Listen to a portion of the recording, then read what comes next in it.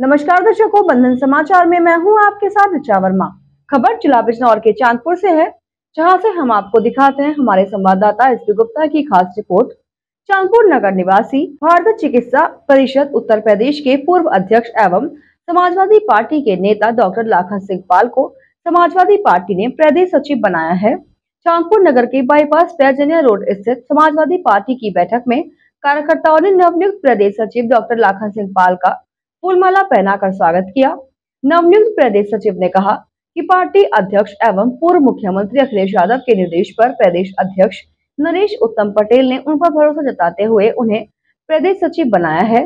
वह पार्टी के हित के लिए पार्टी की नीतियों को जन जन तक पहुँचाने का काम करेंगे और 2024 में होने वाले चुनाव के लिए एक अच्छा संदेश देने का प्रयास करेंगे। पत्रकार बंधु जी, मेरी मेहनत और मेरे कार्य को देखते हुए माननीय अखिलेश जी, पूर्व मुख्यमंत्री उत्तर प्रदेश, राष्ट्रीय अध्यक्ष, समाजवादी पार्टी ने मुझ पर भरोसा जताया है और मुझे पार्टी में सचिव पर सौंपा है।